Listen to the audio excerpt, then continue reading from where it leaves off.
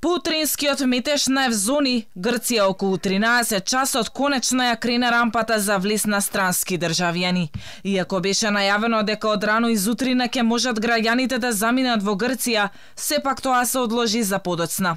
Грчките службеници дури по пладнето го добија протоколот од Атина за пропуштање граѓани од други држави.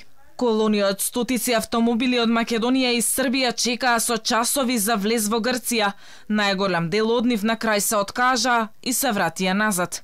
Српските возила тргнаа за Бугарија, бидејќи таму за нив е отворена границата.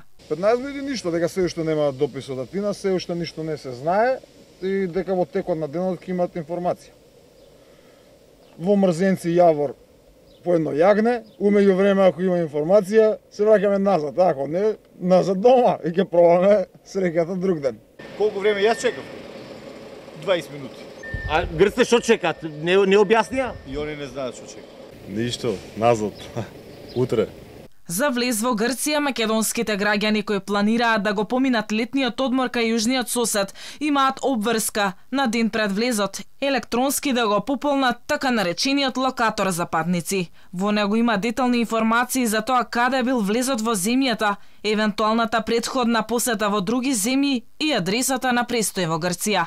Необходно е странските државјани да приложат потврда дека се целосно вакцинирани со две дози против COVID-19 или дека поседуваат негативен ПСР тест не постар од 72 часа или пак да имаат потврда за присуство на антитела. ПСР тестовите нема да бидат потребни за деца под 5 години.